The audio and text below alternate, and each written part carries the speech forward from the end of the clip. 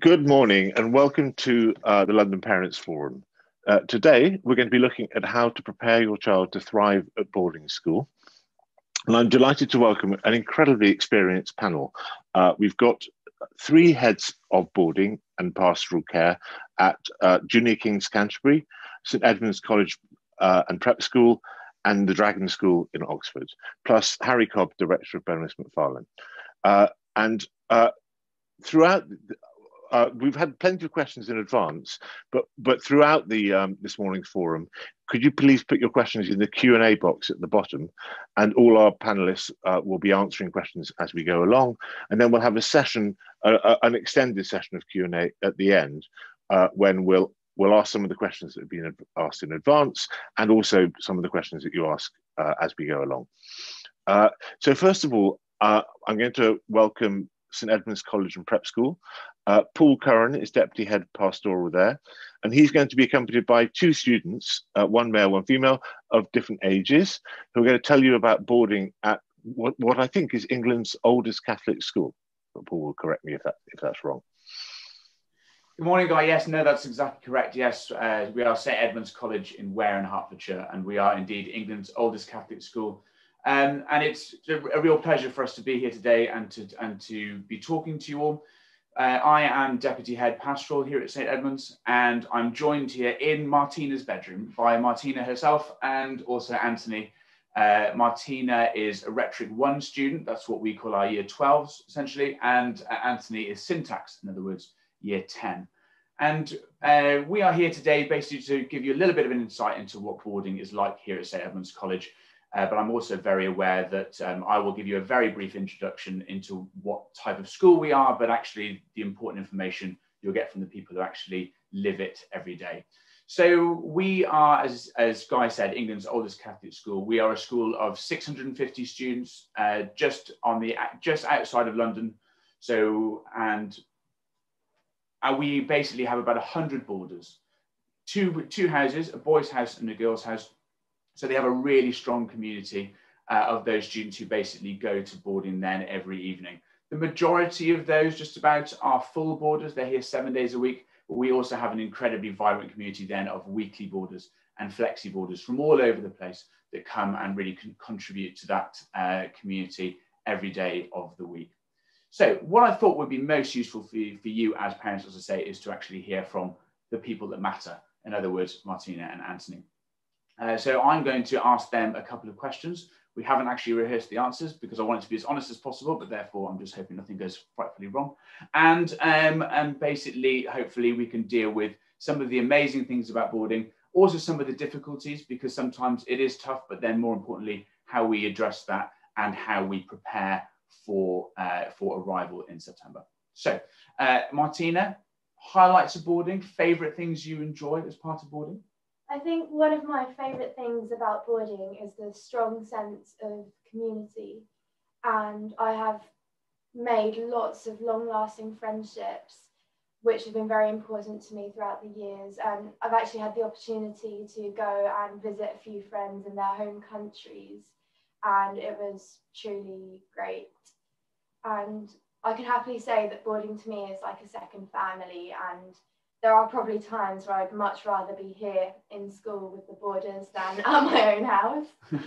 um, yeah. Anthony, how about you?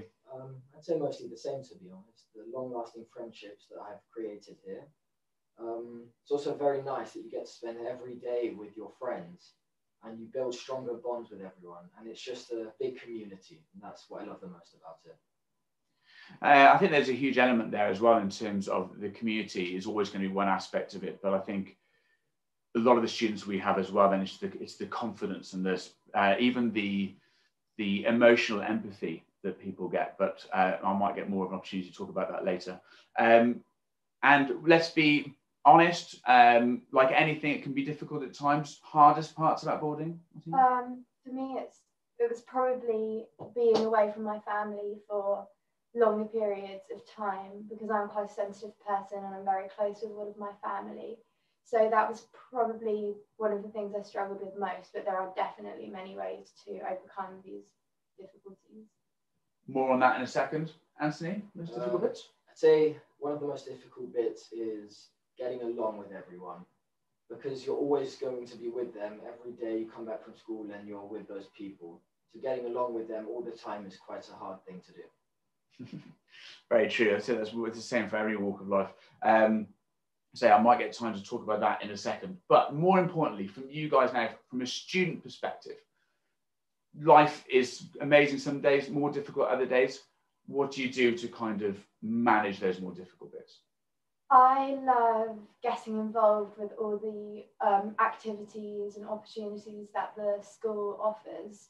So if I'm stressed and I need to get some energy out, I love going to the gym, spending some time there, or going swimming with my friends in the evenings and doing all sorts of activities. I also find it helpful to talk to either my friends or the older students, I feel play a key role in helping um, the younger students who are new to everything, or simply a teacher that I trust. Um, I, for me, another thing that I find really helpful is going to the chapel and spending a few moments in there because it's such a peaceful environment where you can just lock out the outside world and all the chaos of being in school the whole time. Um, and I feel like that does transmit a lot of serenity, and I just use it as space to reflect and pray. You talked then about the relationship with older students. Is that something you utilised even when you were a young boarder? Definitely. I actually remember when I started boarding, I was a bit upset because for me it was completely new. I had never boarded before. And some of the older girls let me sleep in their room for the first few nights and really helped me settle in and kind of acted as an older sister to me. And I know even now, being an older student, I am completely happy um, when the younger students come up to me, they ask me for advice or simply to just come and sit in my room with me for a bit, have a chat, read a book together. And I think that's one of the important things about boarding. Anthony, you? Um, yeah, I'd say, given the fact that your friends are next door to your bedroom, I'd say being with them and talking to them most of the time, um, as well as the older students, they help me quite a bit when I first started off here. And they are very, very useful, especially if you just want to have a chat and talk about things for them to give you advice as well. And what about then in terms of advice for anybody who's considering joining uh, boarding, maybe even from the age of 11, what kind of advice would you have for them? Um, my advice would be to not be afraid to immerse yourself in the college life in full, taking part in all the activities and actually being a boarder is makes it a lot easier to take part in these such as after school sporting events or even on the weekends there are many many trips to London and all sorts of places, or even college production, I absolutely love and I would definitely recommend. And um, also, one thing that I did find is that the more time I spent in boarding, the less I wanted to go back home. So the more I, the more I asked to like stay in boarding, I actually started off as a flexi boarder, only spending one or two days a week in boarding, and I'm now a weekly boarder, even though there have been times where I have spent the weekend in school to stay with my friends or take part in those various trips. Right. And Anthony, very quickly, anything from you? Sir? Yeah, I might just say get involved in activities and things, um, things like that because they, they really are fun and it's such a good experience to have and to do. You can see that Anthony down in his CCF uniform as well.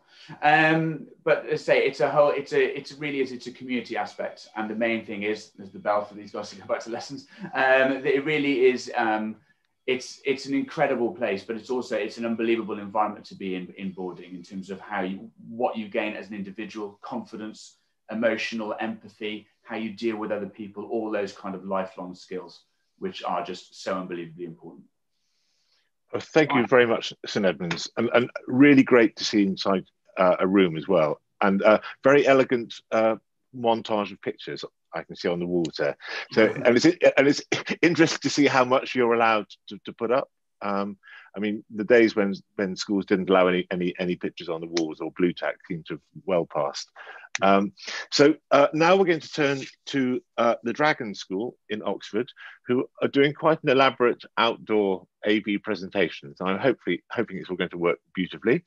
Uh, Paul is just turning on his camera now, uh, and we're going to meet uh, uh, Liz Hutchings, deputy head of and head of boarding, and and and, and, a, and a troop of other guests, I think.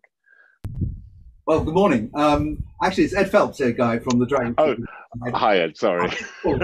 That's right. And you're right. We are outdoors, and it's a lovely sunny morning here in North Oxford at the Dragon School. And you can see behind me some of our fields, and they run down. You might even see the boathouse where some of the boys and girls will be enjoying their sculling later on this afternoon. So, welcome to Oxford, and welcome to the Dragon, which is a large co-ed prep school here in North Oxford, just a stone's throw away, really, from the city centre.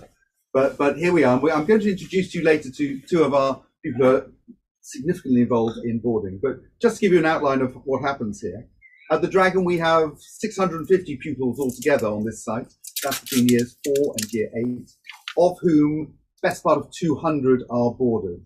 Many of them are full boarders, some are weekly boarders, some are flexi boarders as well. So we have a whole range, and they are split between 10 different boarding houses. I'm going to introduce you now to um, two of the people who are really pivotal to how this works. First of all, there's uh, Gus Faulkner, who's one of our deputy, our head of boarding. I believe we have Gus, who's coming into shot just here. And then there's also Ellie King, who runs one of our junior boarding houses. So I'm going to step out of shot, Guy. Uh, so you've got Gus and you've got Ellie who are going to carry on with your questions. Thank you very much. Good morning. Thank you. Uh, we are going to start our presentation by sharing a short film about boarding at the Dragon.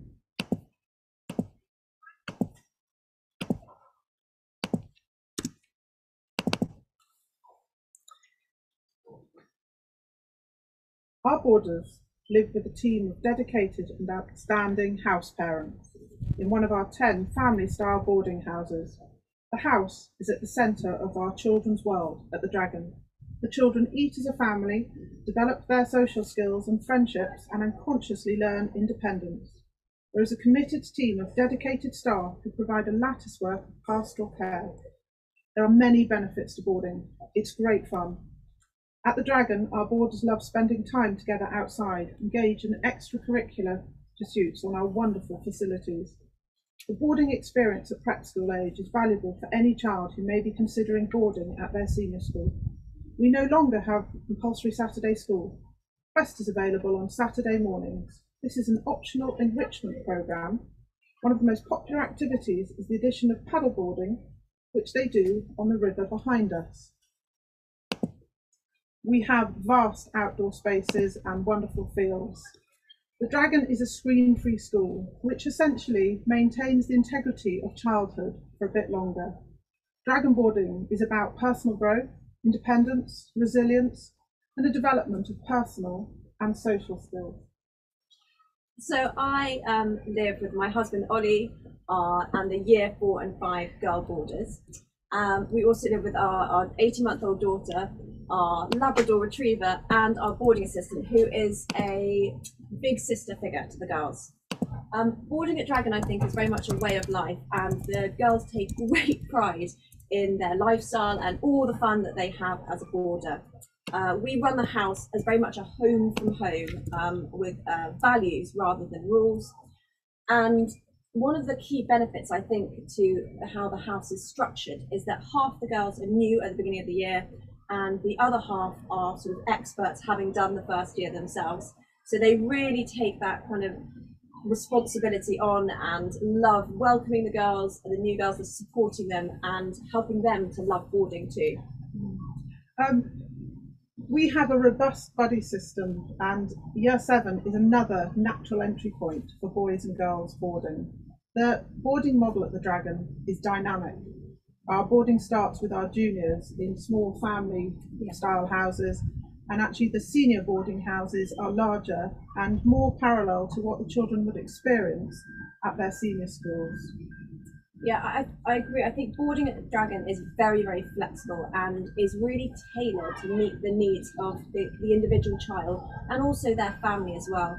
So, um, in addition to being the house parent to the child, and so therefore having a, a, really excellent understanding of their pastoral needs, I'm also the academic tutor, which means that I can really help the school to understand how best to support that child in really flourishing. Uh, four nights a week, the girls are supported, our boarders are supported in their homework by um, a member of academic staff. And then on a Friday, we run a brilliant spectrum program, which is um, an ins- inspiring visitors and speakers who come in and talk to the children. So this weekend, for example, on Friday, we had Nelson Mandela's former prison guard talking to the children and giving them some amazing life lessons. Um, so lots of children, there's different points when the, the children tend to go home over the weekend. So some children will finish on a Friday and go home after school, perhaps returning on a Sunday evening um, on the London bus, or even in time on Monday for tutor time. But we have found that lots and lots of children, there's been a massive uptake in our Quest programme that Gus mentioned, the Saturday morning activities. So what often happens is that after a morning of uh, recording music in music studios or um, perhaps learning a new magic trick or taking uh, photos of the house dogs as we did in our garden uh, this weekend. Um, the girls will go home at Saturday lunchtime. Um, however, lots of the girls we have found choose to stay in. Our boarders want to stay in because weekend program is varied and rich and just great fun. So I think Gus is going to tell you a little bit more about that. But also we have those kind of regular weekend rituals as well where the girls um, on a Saturday night, for example, snuggle up with their duvets and pillows in the girls' room with hot chocolates, with popcorn, and just have a really lovely cozy time as well. Thank you. Uh, notable weekends of our weekend programme are when the whole community, the boarding community, comes together. We have external visitors who come in and provide activities, and also our staff provide a wide and varied programme. And actually, pupil voice is really important when planning our programme. They play a significant role in choosing the activities.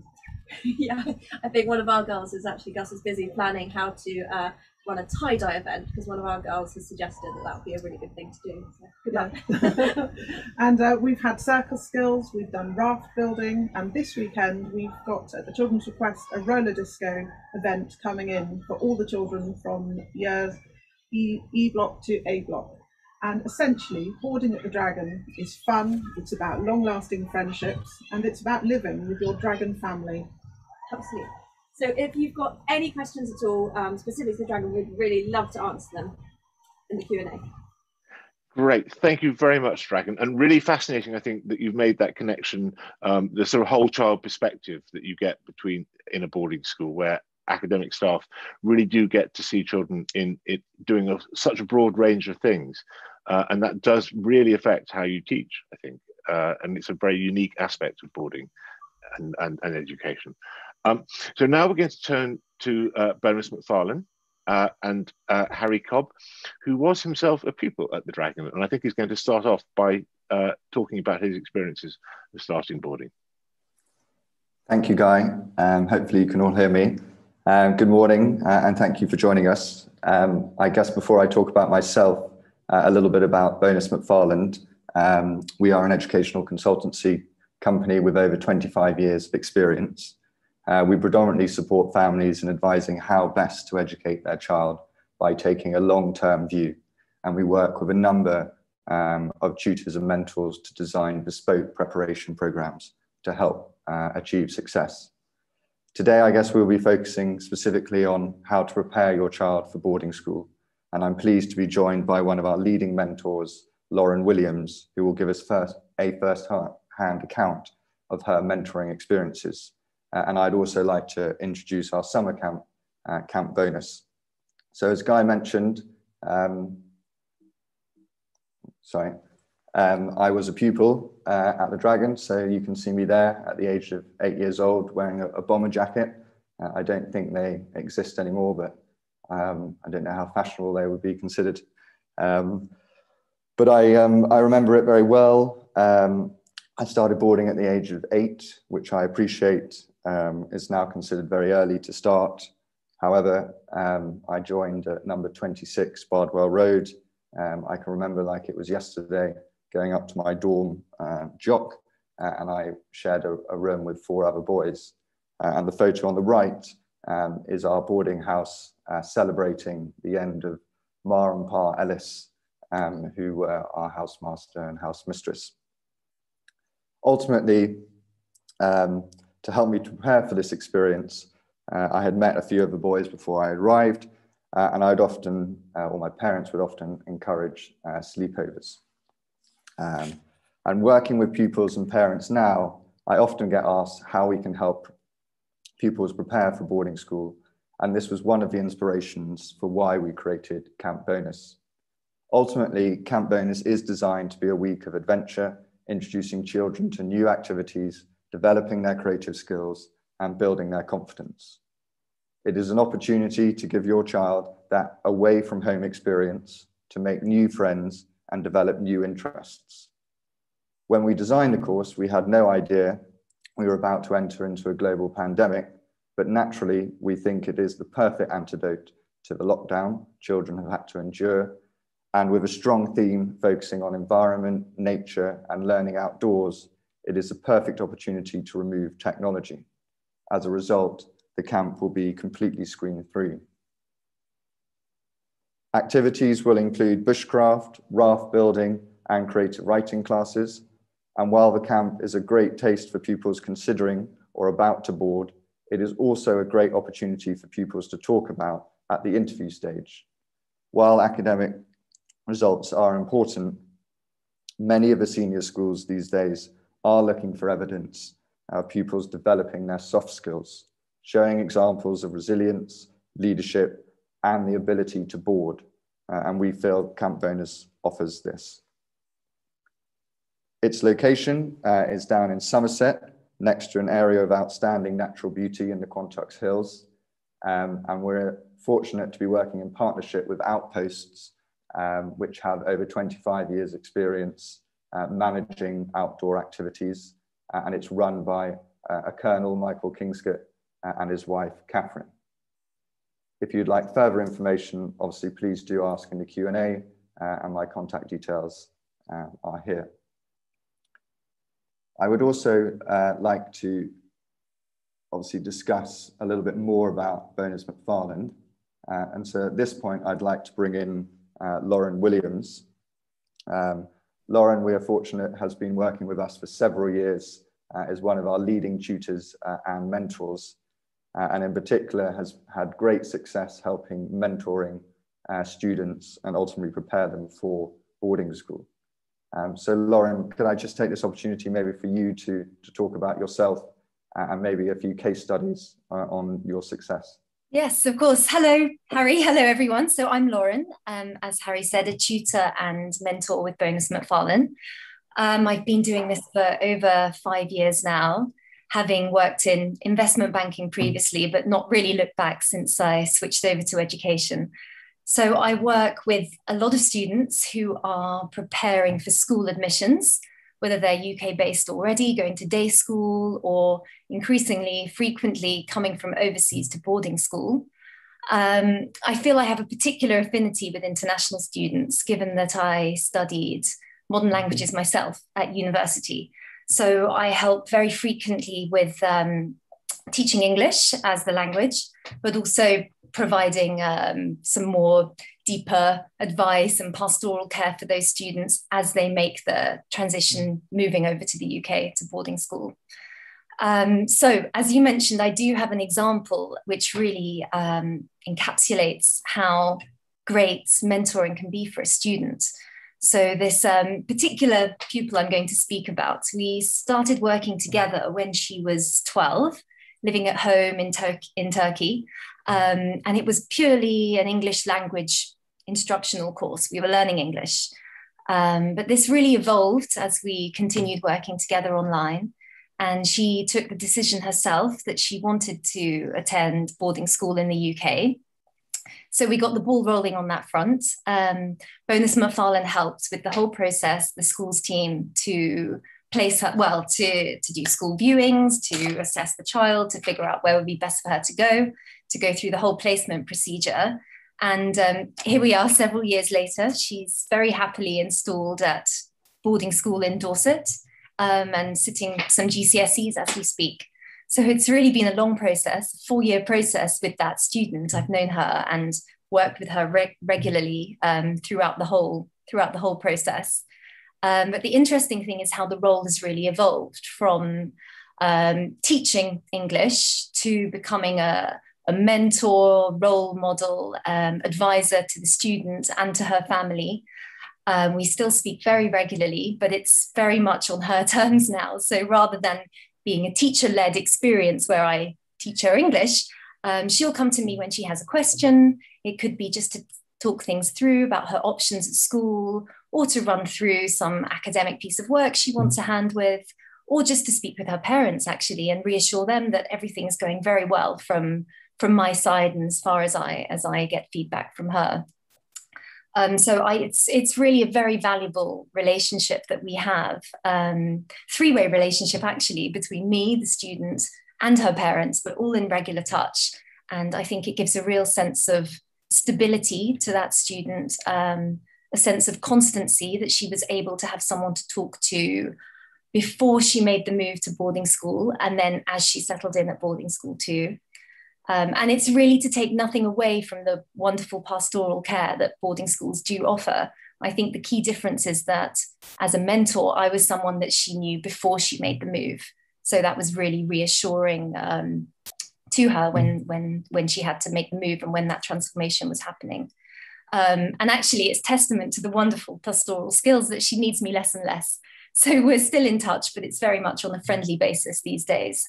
Um, and we, we have a chat about her plans, travel plans, and her, her plans going forward for A level and so on. Um, but it's been a wonderful uh, journey and evolution of uh, working with her and her family.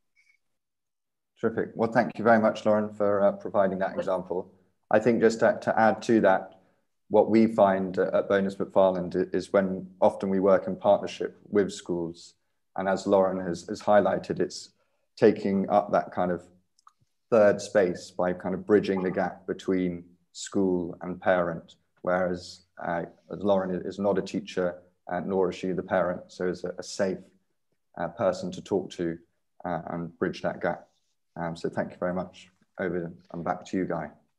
Thank you, Harry and Lauren. That was really fascinating, and I think um, you, you, you raised some really interesting questions about uh, the needs of international pupils when they're when they're moving country to start school as well, um, which perhaps we'll address more in the Q and A session with with schools. Uh, so now we're going over to Kent to King's Junior King's Canterbury. Uh, so yes, and we've got a, a, room full of students uh, and uh, Liz Hutchings, who's deputy head pastoral and head of boarding. Hi there, welcome to Junior Kings. Um, Junior Kings is 140 years old now, although we've been on our current site for 91 years. Um, and we very much combine tradition with a modern outlook. Um, as a school, we pride ourselves on being innovative, creative, and global. Um, and we have four key values that sit at the heart of everything we do, both in the day school and on the boarding side. And they are respect, resilience, responsibility, um, and readiness. So we're a school with 352 pupils in total, ranging from 3 to 13, um, and 285 in the prep school. Um, currently, we have 79 boarders, 48 boys, and 31 girls, um, but we have um, capacity for 40 girls and 50 boys, and numbers do tend to fluctuate slightly every year. Um, the majority of our borders are full borders, um, being international, uh, but we do have a few weeklies. Um, and during non COVID times, we also um, very much welcome occasional and flexi borders, um, provided we've got the space. Um, our best asset, of course, are the children themselves, and I'm delighted to have three of them um, here with me today. one of whom started when he was younger than our average boarder, who normally starts in year five, and I'm going to let him introduce himself in a minute. Um, but I'm going to hand over to them and they are looking forward to sharing some of their experiences of boarding here. Um, hello, my name is Ray and I joined this year in year seven. I previously went to school in London and I'm Japanese. Hi, my name is Ruby. I joined the school in year seven. I come from a school in Surrey and I'm currently the head of boarding at on the girls' floor. Hi, I'm Susan. I've been at the school since I was in year four and I've came, and I came from Nigeria.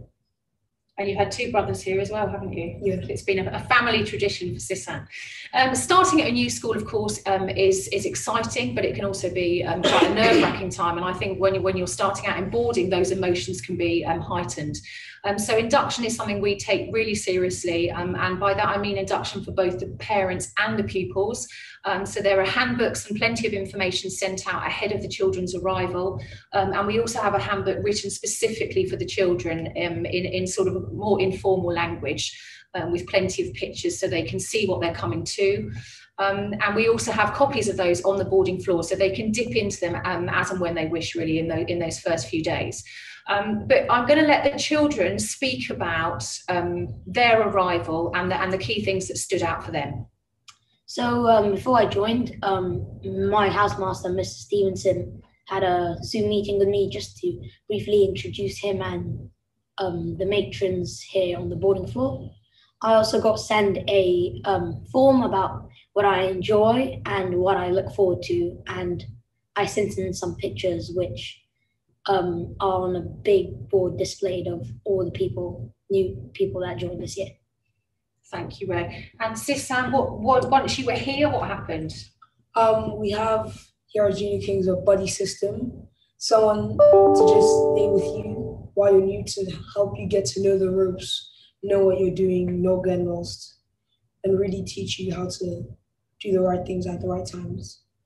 Was it just for a few days, or how did that work? Can you remember? Really, they just stay with you as long as you need them. For me, that was around a month or two, and you know, you still stay friends with them even after that.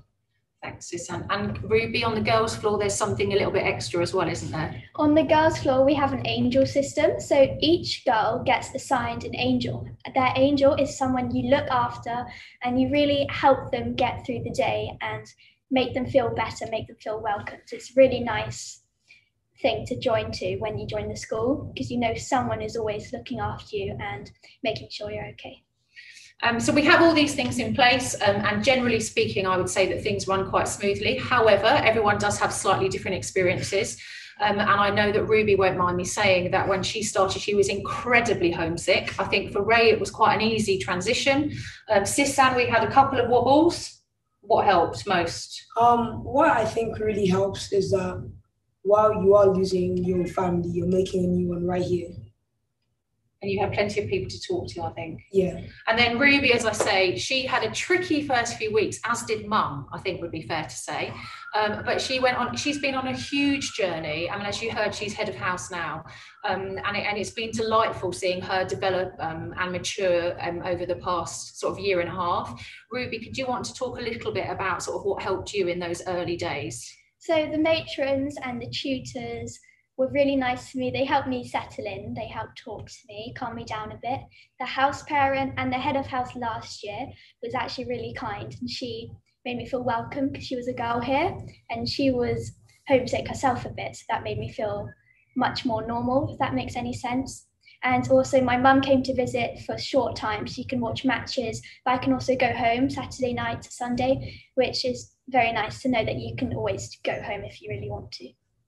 Thanks, Ruby. Um, it is very much a team effort, as you you know, as you heard from Ruby. Lots of different people helped her, um, and it is a team effort when it comes to the communication here, when it comes to the pastoral care. Um, we have a huge boarding team, um, and, and, I include everyone in that. I include the matrons, I include the catering team, I include the domestics, who all play a really key role. We have assistant tutors, um, a little bit like GAP students who I think the children probably see more as, as big brothers and sisters at times. We have boarding tutors, and then we obviously have our house parents um, with their families who live on both the girls' floor and the boys' floor, giving it a real family feel. Um, and the day children, all, I'm sorry, day staff also get involved. So they will come in on a Sunday um, to help um, run some of the activities and to see the boarders in a, in a different light, which I think is a lovely thing for both the staff and the children. Um, just briefly, I want to mention about weekends when the school becomes the boarders really, and, it, and it's a special place to be. I think we're very lucky with our grounds.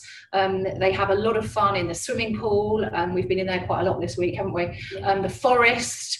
Um, enjoying the simple things and the space we have outside, but also a range of activities. This year's been slightly different because of COVID. We haven't been able to go out and about as we would have done, but we've tried to be as inventive as possible. And what have been some of the favourite things this year? What do we think, Ray? Um, so we had inflatables and scale electrics come in. We, I think, also had laser tag. Yeah, we did. We had laser tag. Can anyone remember anything else?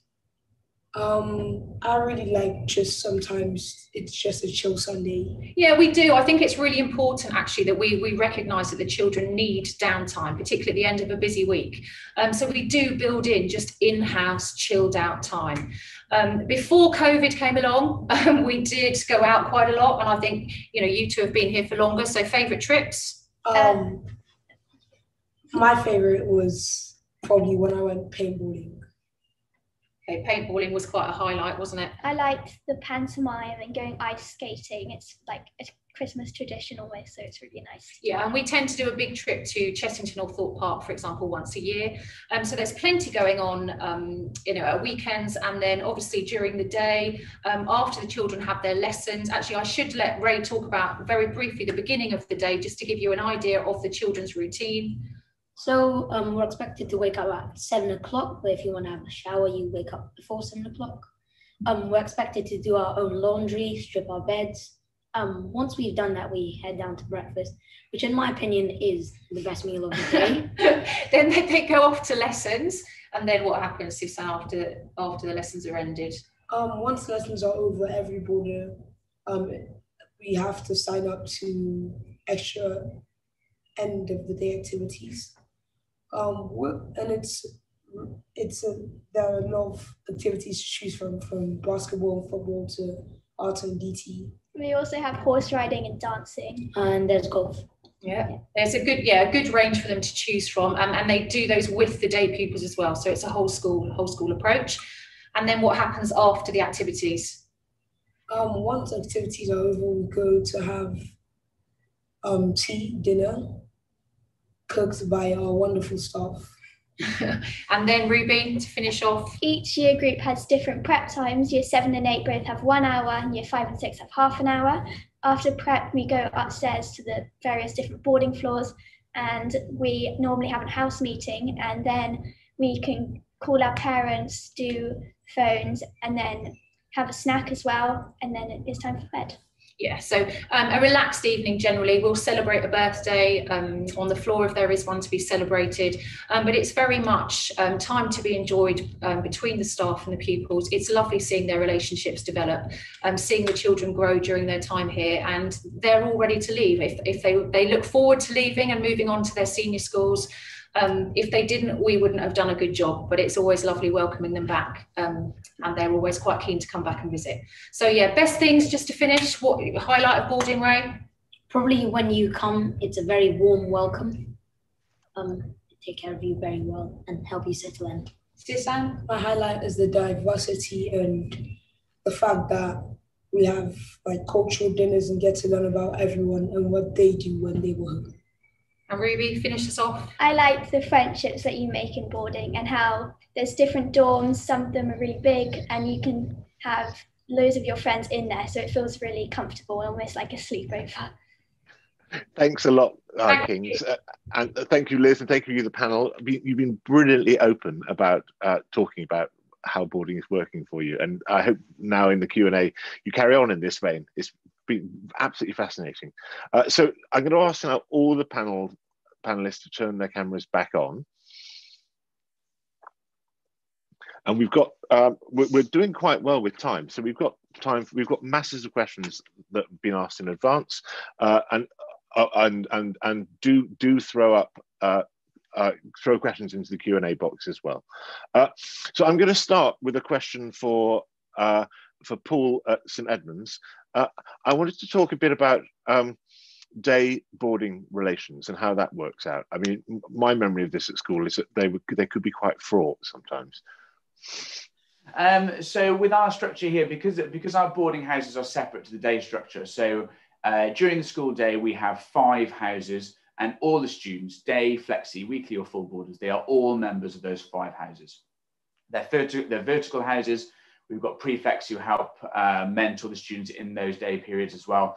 And then the, sort of the, the day housemaster and the tutor there are also prime contacts for any parent um, with regards to academic progress, pastoral well-being and what have you.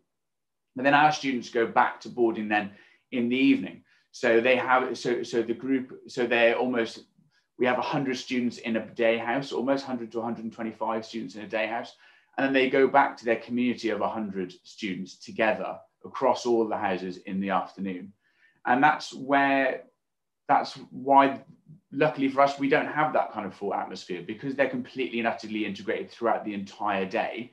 And then they all they almost go back to their family based community in the evening. And that works really really well for us because then the majority of our boarders, as i say are full. The they maintain that uh, that community seven days a week.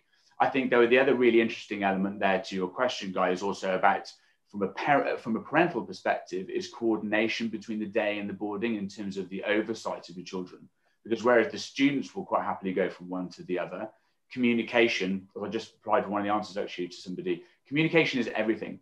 So knowing then who those points of contact are and then the, the, the knowledge that your boarding house master is getting that information from the day side so they can look after them when they're doing their prep, know, know where to sort of intervene, or almost sometimes then to have that kind of supportive chat because they've had a rough day somewhere else because of something that could have happened, you know.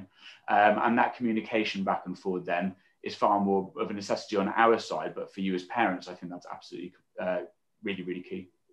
That's uh, that's very interesting, Paul. And actually, I'm going to, to continue that theme. Um, throw it over to the dragon. Um, do you want to talk a little bit about um, how parents will know what's going on at school? I mean, it can be quite difficult if you've got a day child to know what on earth's going on at school. So, how do parents, when their children are boarding, find out you know whether their children are working, whether they're whether they're happy, whether there are any problems? How does it work? Thank you. Um, I'll just begin really, we have great communication with our parents and we actually have recently a parent portal installed, which uh, is very easy to use and the parents can access all sorts of really interesting information. On the boarding side, the children can, they use Zoom, they use FaceTime, they phone, they email regularly. So there's brilliant communication between boarding, the children and home. And also the tutors play a really large part in communicating about how the children are doing. So the pastoral tutors will get involved with the parents. I think also um, photos are a really great way. We do lots and lots of uh, taking photos of the children doing their activities, and each week we're very much in communication with parents. So on a on a Monday or Tuesday, we'll send out an email summarising the um, what's happened in the uh, over the weekend and giving lots of links to photos and then also talking about what's coming up. And so they've got a really good idea of things that they um, might be involved in.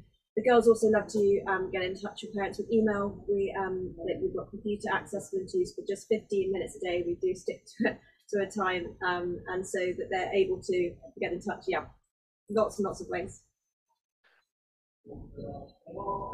Thank you, thank you very much, Dragon. I'm going to throw um, a similar question to, to, to, Liz at King's. You talked a bit about um, uh, your handbook for inducting parents, which I thought sounded absolutely brilliant. Um, I, I, remember from my time at Windlesham that that that that that, that actually. Uh, helping parents get over the hurdle of their child starting boarding is probably at least as important as helping the child. Um, so I wondered if you'd like to talk a little bit about about what parents find most difficult about their children starting boarding. Yeah, I, I think um, I think it's often harder for the parents actually than the children themselves because they are they're so busy once they get here, um, and the parent is sitting at home desperately waiting for that phone call. Um, we we talk a lot when we um, welcome the parents in and the pupils in in September about trusting us, um, and I know that's hard, but I think you know when you're handing over your child for the first time to someone else, you you've got to trust the school that they are going to look after them. Um, so we talk a lot about the fact, you know, we, we do this job because we love it. We've done it for a long time. We are professionals and, and, you know, we will take fantastic care of your children. But I think the parents letting go is really tough. You know, the, the handbooks definitely help. Um, we've had them translated now into a variety of languages to try and, you know, reach everybody. Um, but I, I, think the more the more information you can give them, the better. But having that that real trust and belief in the school, and I think that, you get that by giving them as much information as you possibly can ahead of that arrival. So, so, so, so how much time do you spend on the phone in the evening to parents, Liz? Um, the house parents will generally um, be the, the main point of contact. I would say there is very rarely where two or three parents and also guardians. I, you know, I think that's really important. It's not just communication with parents now; it's very much parents and guardians, so that they are part of the whole process. Um, yeah, I would say on average, the house parents are probably on to three or four parents every evening fascinating. So actually, let's go back to uh, the dragon and pick up on something that um, that uh, Lauren mentioned and and that Liz has just been talking about, which is about overseas people starting boarding. I think this is this is uh, incredibly interesting.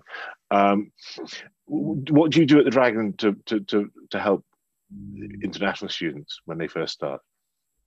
Well, overseas students will come initially for a school visit or school tour.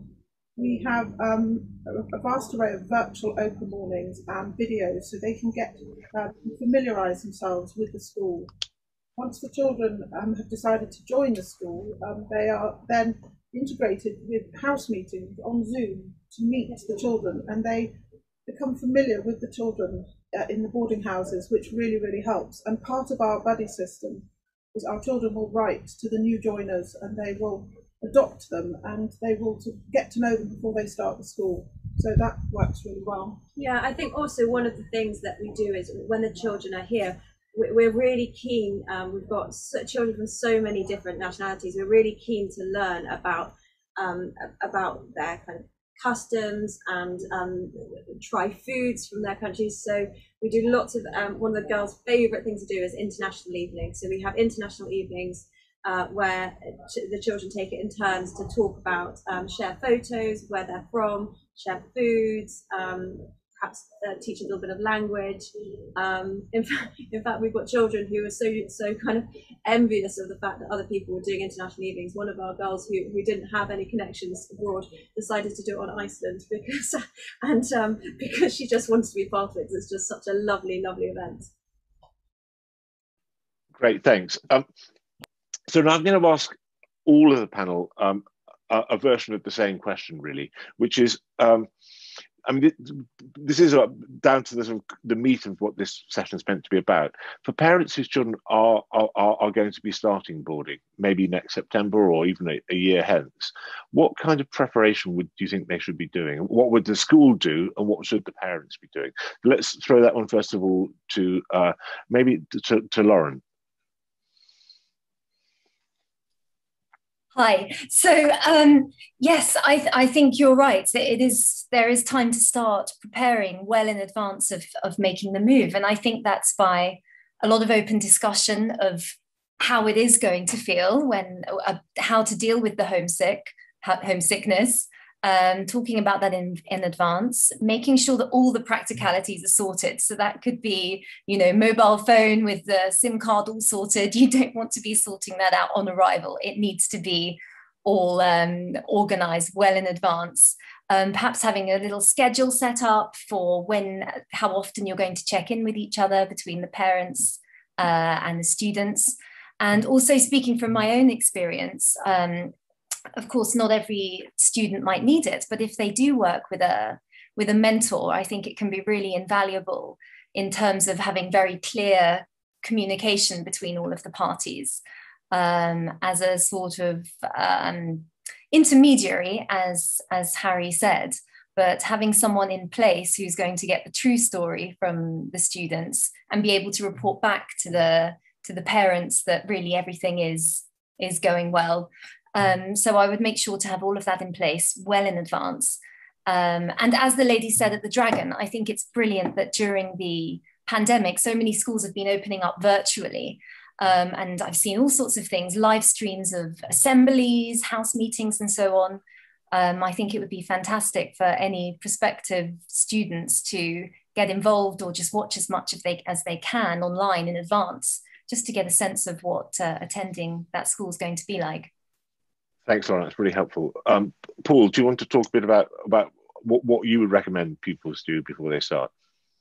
Yeah, absolutely. I think the main thing for me is the fact that there's no way of students knowing all the ins and outs of a routine of a school before they come. So, so I think the main thing is is preparation for them to be open-minded. If they go with a preset idea of definitely what it's going to be like, if any of us try to do that about something we've never experienced before, it's unlikely to be what we really envisage it. So going with the open mind is really important. I also think though that um, there's nobody who knows children better than the parents, and the parents will know well in advance if there are if, the, if their child is likely to be one of those ones who absolutely cannot wait to arrive and just say goodbye, mum and dad, and go straight up to the dorm, in which case it tends to be mum and dad crying in the housemaster's study before they say goodbye and they get in the car and go home, or whether or not it's going to be this, the child themselves who is really, really nervous.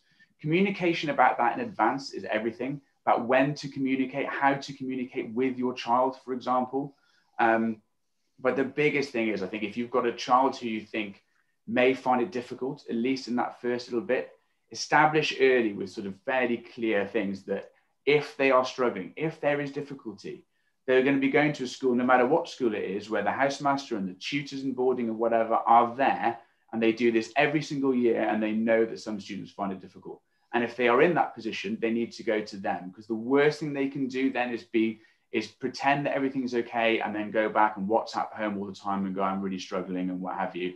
And then you guys, as parents, are going to be worried at home. You end up acting as intermediary.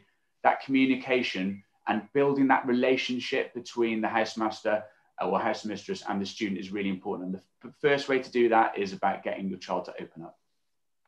Uh, great, Paul. I think that's really excellent advice. Um, uh, Liz, let's let's hear what, what, what you suggest. Uh, I'm surprised no one has yet mentioned Harry Potter. There's very, there's very little, I think, to add into, in, on top of what's already been said.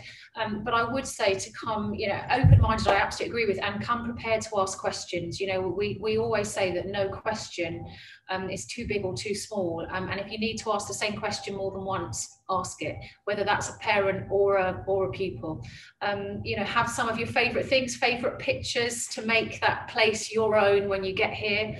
Um, some of the children will bring in obviously the favorite toys, but the favorite cushion, the, the favorite rug for the floor, um, but something so that it feels um, homely and feel special. And I think in terms of um, communication, um, I absolutely agree with, with knowing how you're going to contact home um, really helps a child. I'd be very wary of doing a fixed time every night though, because if you're outside having lots of fun on an Astro playing football with your mates and your mum can't get hold of you, then that mum starts to worry. Um, so I think, you know, that's where that the parent has got to try as hard as it is sometimes not to worry when they don't hear. Um, and, you know, you, your child will get in touch, but sometimes they might just be too busy having fun. Thanks, Liz. Dragon, have you got anything to add? Well, preparation tips?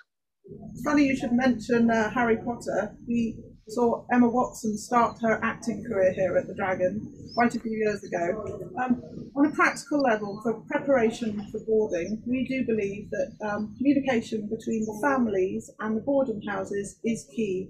And actually, the children getting to understand the routines about boarding and knowing about bedtimes and on a very practical note, it's really helpful if the children actually know how to change a duvet and put a pillowcase on, because that helps with just daily life at the dragon. Yeah, absolutely. And I think as a house parent, you can be a really great guide. You, we work very much with the parents. So if we felt that a child was perhaps phoning home a little bit too often, whilst we would never stop a child from having and, and stop them calling, we would just you know talk to them about how how it's making them feel and whether there's a better time in the day that they can call on, and also having that conversation with parents and making sure that it's sort of tailored to them as a family.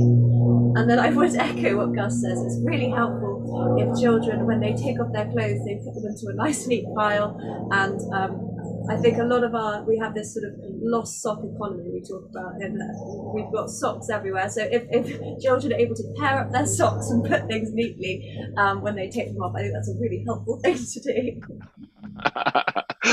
that sounds like wish fulfillment to me. Not, I mean, my my fifteen year old can't pair his socks. Um, yeah. The, um, yeah, those are all really good tips. I think we ought to we, we ought now to address um, some of the more complex issues. I mean, uh, Harry was talking about being at the Dragon um, quite a long time ago now. I won't uh, maybe 20, almost 20 years, Harry. And and uh, I wondered how much things have changed Um, I mean, particularly, um, obviously, you know, we, we, all read a lot about safeguarding issues um, and uh, and privacy for children, and so so you know, do your schools still have big dormitories?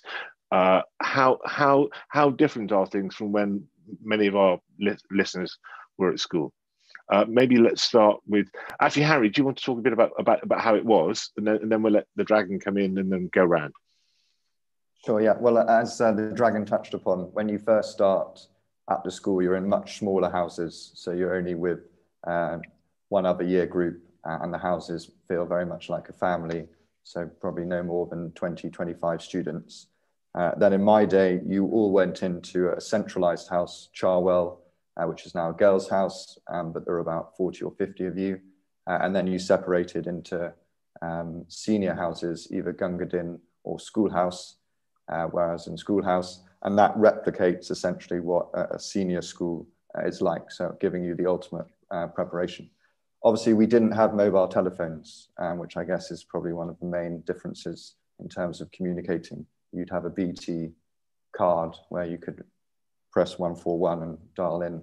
Um, but the, the, the, contact you had with parents was, was minimal um, and it was a little bit more structured in having um, exeats every three weeks. Uh, you'd rarely go home in between that time. Parents could come and see you in matches, um, but you were very much kind of at school during term time. Uh, and an exeat and half term was obviously a privilege, but not something you did every week. And now, as the Dragon and other schools have highlighted, they don't have Saturday school and it seems that lots of students leave during the weekends. Right, Gus and Ellie, how, how's it changed?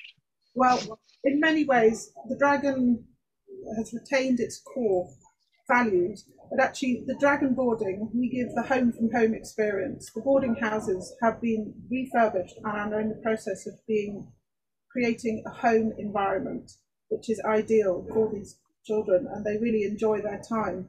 And actually, privacy is key, and uh, the showers are more private and the bedrooms um, have less beds in nowadays.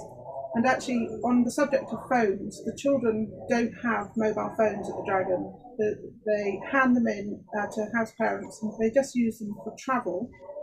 Um, and the main line of communication is email and um, phone calls to parents. And there's much more flexibility these days. Children and parents want to see each other a lot more, and we've facilitated that. But uh, on the subject of safeguarding, it's absolutely key to our life at the Dragon. We have a very strong pastoral team who provide the safeguarding right across the school, and actually everyone's responsibility is safeguarding. Yeah, and I think that so we're, we're actually at number 26, which I, I think is, is where you were. Um, and everybody who comes in sort of says how much it feels just like a normal home um, and I think the girls do too. They just feel like it's a normal home. It's just a bit bigger, and um, I think that there's still that very much that idea of it. It is a bit like a sleepover. Um, they know that in the week that there are the expectations that you know lights out, and they've had a very busy day, and we talk to them about the importance of sleep.